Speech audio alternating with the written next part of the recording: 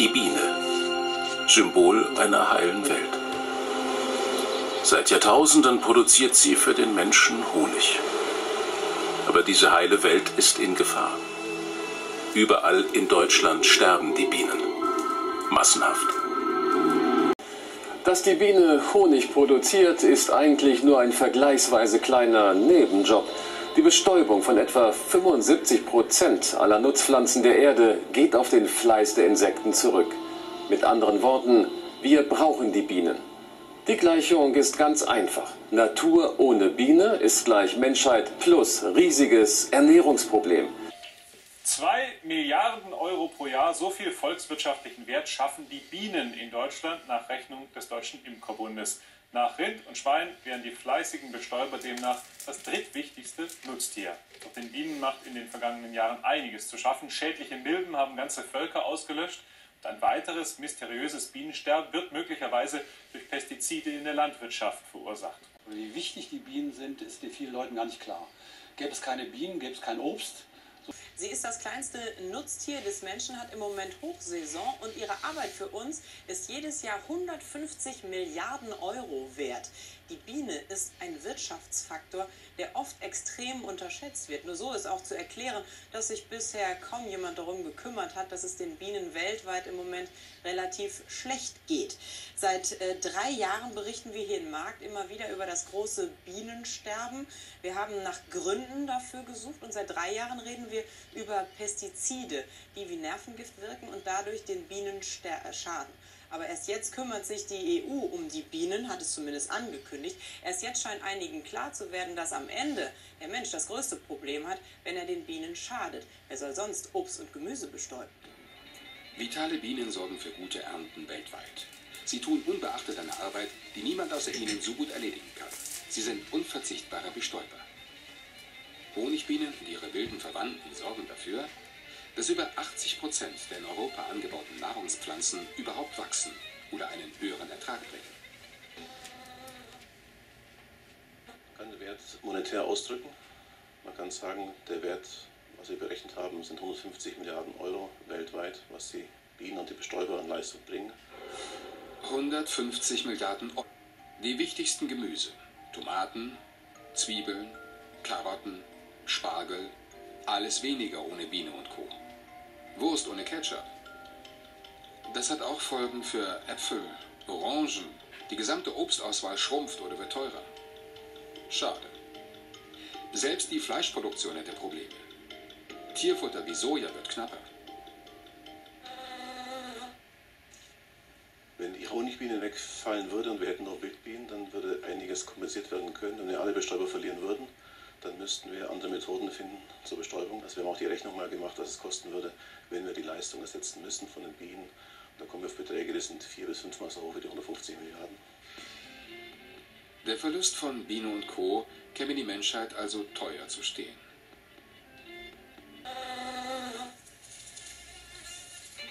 Der Agrarsektor vieler Länder könnte empfindlich auf einen Rückgang der Bestäuber reagieren.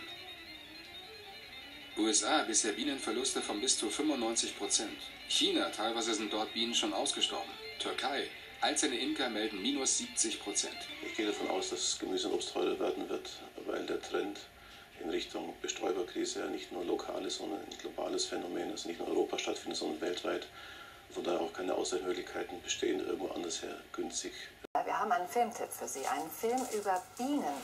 Denn vor unseren Augen sterben die weg, massenweise. Und damit steht auch für uns Menschen einiges auf dem Spiel. Der Schweizer Regisseur Markus Imhof hat die fleißigen Bestäuberinnen fünf Jahre lang beobachtet. Faszinierende Aufnahmen sind es geworden. Sie sind faszinierende Geschöpfe, aber die Honigbienen sterben weltweit. In der Schweiz sind im letzten Jahr 50 Prozent der Völker kollabiert.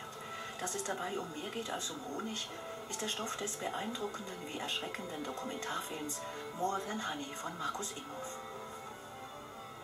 Den meisten Menschen ist nicht bewusst, wie wesentlich die Honigbiene für unser Leben ist, weil ein Drittel von allem, was wir essen, gäbe es nicht ohne die Honigbiene. Diese Bilder schockieren auf den zweiten Blick. Eine Apfelplantage in China.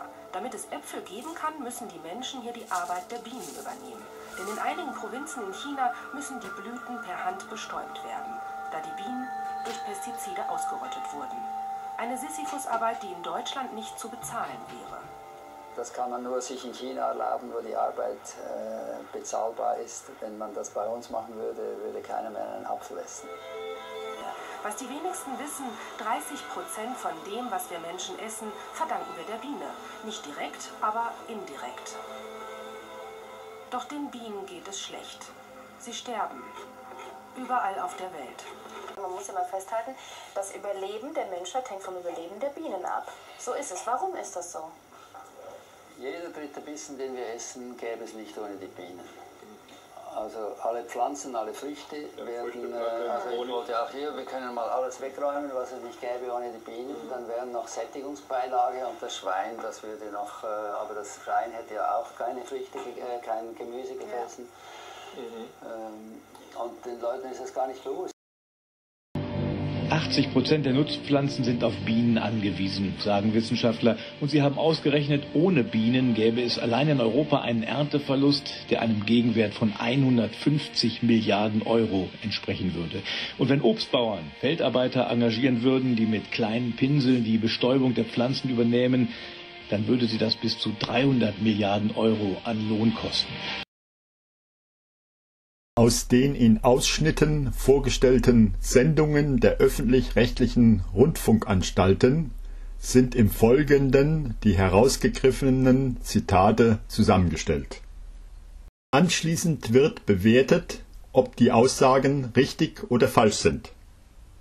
Als Grundlage für die Bewertung dient die öffentlich zugängliche Statistik der FAO und des Statistischen Bundesamtes so kann bei der FAO die Entwicklung der Bienenvölkerzahlen auf der Erde in den vergangenen 50 Jahren von jedermann, auch von Journalisten und Filmemachern, abgerufen und Land für Land betrachtet werden. Informationen sind auch bei Wikipedia zu finden. Nach der übereinstimmenden Statistik von FAO und Deutscher Imkerbund haben sich die Bienenvölkerzahlen in Deutschland in den vergangenen acht Jahren kaum verändert. In diesem Zeitraum wurde das Neonicotinoid Clodianidin zur Saatgutbeizung bei Raps und Mais eingesetzt.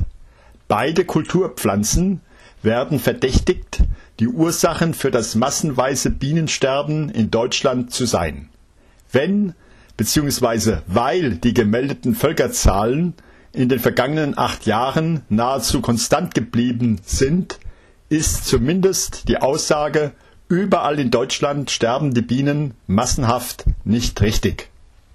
Diese Beurteilung gilt auch, wenn man die Entwicklung der Völkerzahlen in der Schweiz, in China und in der Türkei oder nach Erdteilen zusammengestellt betrachtet. In allen Erdteilen sind in den vergangenen zehn Jahren die Völkerzahlen konstant geblieben oder sogar angestiegen. Besonders stark ist der Anstieg in Asien und dort in China und auch in der Türkei. Da fällt es schwer zu glauben, dass in einigen Provinzen Chinas die Bienen durch Pestizide ausgerottet wurden. Handbestäubung von Apfelbäumen wird dort praktiziert, um durch zielgerichtete Kreuzung neue Apfelsorten zu kreieren, die auf dem europäischen Markt konkurrenzfähig sind. Honig und Erdbeeren aus China gibt es bereits bei uns in den Supermärkten. Wie kommt es zu einer solchen Fehleinschätzung in der Berichterstattung? Zwei Zitate helfen weiter. Der kundige Experte, nicht jeder Experte, der zu Wort kommt, ist kundig, erkennt es, wenn er hört, in der Türkei melden einzelne Imker Verluste bis 70 Prozent. Das kommt sogar in Deutschland vor, dass einzelne Imker alle ihre Völker verlieren. Das ist sogar die Regel. Weltweit. Wenn diese Imker laut klagen und die anderen nicht, welches Bild entsteht dann in der Öffentlichkeit? Zusätzlich ist zu bedenken, die Medien agieren weltweit nach dem Prinzip Only bad news are good news. Nur schlechte Nachrichten lassen sich gut verkaufen. Und sie neigen zum Übertreiben. Nicht nur die Medien. Zum Tragen kommt auch noch das Mainstream-Verhalten, von dem sich besonders leicht Politik und Medien anstecken lassen. Zwischen diesen beiden Bereichen existieren enge Wechselbeziehungen.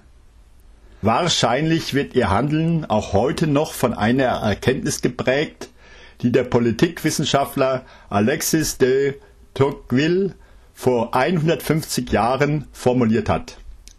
Das Publikum wird eher die einfache Lüge als die komplizierte Wahrheit glauben. Zusammenfassung.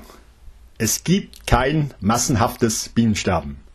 In Deutschland nicht, in der Schweiz nicht, in China nicht, in den USA nicht, weltweit nicht. Es gibt ein Bienenvölkersterben jeden Winter und liegt jeden Winter zwischen 0 und 100 Prozent. Jeden Winter. Manchmal sind sehr viele Imker davon betroffen. In Deutschland können dann die durchschnittlichen Völkerverluste etwa 30 Prozent erreichen wie 2002, 2003, 2005, 2006, 2007, 2008 und 2009, 2010. Dass diese Völkerverluste im Winter nicht in der Statistik von DIB und FAO auftauchen, liegt daran, dass man Bienenvölker im Frühjahr und Sommer vermehren kann. Aus einem Bienenvolk kann man leicht zehn Bienenvölker machen und Winterverluste mehr als wettmachen. Der Völkerbestand in Deutschland wird immer zum Jahresende erfasst und anderswo wahrscheinlich auch. Der Hauptgrund für diese Völkerverluste im Winter ist eine unzureichende Varroabekämpfung. Diese Einschätzung wurde in vielen Einzeluntersuchungen immer wieder überprüft und im deutschen Bienenmonitoring bestätigt. Wenn die betreffenden Zitate über das massenhafte Bienensterben gestrichen werden, bleiben die Zitate übrig, die sich mit der Bestäubungsleistung der Honigbiene und ihrer wilden Verwandten befassen. Am leichtesten sind die eindeutig falschen Aussagen zu beurteilen. Die Geflügelhaltung erwirtschaftet in Deutschland mehr als 4 Milliarden Euro jährlich. Die Sojabohne ist selbstbefruchtend Weltweit werden auf 106 Millionen Hektar etwa 250 Millionen Tonnen produziert. Diese Ernte ist etwa 50 Milliarden Euro wert. Welchen Wert hat die Produktion von Weizen, Gerste, Hafer, Roggen, Reis, Mais, Kartoffeln und Zucker? Diese Pflanzen sind auf Insektenbestäubung nicht angewiesen. Die weltweite Gesamternte von Pflanzen mit Windbestäubung und Selbstbefruchtung dürfte hinsichtlich Menge und Geldwert sehr viel höher liegen als bei den Pflanzen, die auf Insektenbestäubung angewiesen sind. Sehr leicht bewertet werden können die Aussagen, in denen die Bestäubungsleistung mit einem Geldwert bewertet wird. Der DIB schätzt den volkswirtschaftlichen Nutzen der Bestäubungsleistung in Deutschland auf 2 Milliarden Euro. Weltweit soll er bei 150 Milliarden Euro liegen. Wir rechnen 2 Milliarden Euro Bestäubungsleistung und 80 Millionen Einwohner bedeuten 25 Euro pro Einwohner und Jahr. 2 Euro pro Einwohner und Monat oder 7 Cent pro Kopf und Tag. Kann das sein? Nach den Berechnungen des Statistischen Bundesamtes hatte ein Vier-Personen-Haushalt in Deutschland 2011 durchschnittliche Lebenshaltungskosten von 2250 Euro im Monat. Diese Ausgaben waren verteilt auf Wohnen, Verkehr, Ernährung, Freizeit, Möbel und Bekleidung, Kosten für die Gesundheitspflege und anderes. 2250 Euro für vier Personen in einem Vier-Personen-Haushalt Monat für Monat. Singles leben teurer. Deshalb ist es wohl gerechtfertigt, für die Ernährung eine monatliche Pauschale von 90 Euro pro Person oder 3 Euro pro Tag und Person anzunehmen. Und diesen 3 Euro Ernährung 7 Cent Bestäubungsleistung gegenüberzustellen. Die Bestäubungsleistung hätte dann einen Anteil von 2 bis 3 Prozent an den Ausgaben für die Ernährung in Deutschland. Die Bestäubungsleistung von Biene und Co. wird weltweit mit 150 Milliarden Euro bewertet. Bei 7 Milliarden Menschen bedeutet das pro Mensch 22 Euro im Jahr oder 2 Euro pro Mensch und Monat oder 7 Cent pro Kopf und Tag. Das stimmt überein und belegt die Ausgewogenheit der Agrarsubventionen, die es den deutschen Bauern möglich macht, in Deutschland zu leben und dennoch zu Weltmarktpreisen zu produzieren. Es profitiert der Verbraucher. Zum Schluss ein Nachwort, damit keine Missverständnisse aufkommen. Die flächendeckende Honigbienenhaltung ist wichtig. Sie sichert die Bestäubung von vielen Wild- und Kulturpflanzen, wie eine Feuerwehr. Wenn andere Bestäuber, aus welchen Gründen auch immer, ausfallen oder dezimiert werden, manchmal kann das durch einen ungünstigen Witterungsverlauf im Frühjahr passieren, dann ist die Bestäubungsleistung früh blühender Kulturen durch die flächendeckende Honigbienenhaltung gewährleistet. Einfach so. Diese Bestäubungssicherheit sollte als Begründung ausreichen, um sich für die Erhaltung und Pflege einer intakten Feuerwehr einzusetzen. Nahrungsmittel sind knapp, weltweit. Für die Sicherung von ausreichend hohen Ernten und guter Qualität, Jahr für Jahr, müssen alle Rädchen in der Nahrungsmittelproduktion immer störungsfrei laufen, von der Saat bis zur Ernte und von der Ernte bis zur Saat, Jahr für Jahr, weltweit. Nicht nur eines, jedes, alle. Miteinander, nicht gegeneinander. Zum Miteinander gehört auch die gemeinsame Suche nach der Wahrheit.